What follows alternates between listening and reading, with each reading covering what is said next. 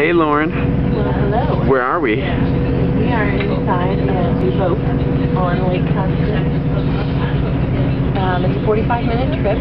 We just realized that there is uh, indoor seating We are freezing our patooties off. outside for about 40 minutes. Out in the cool. It was raining and we had snow.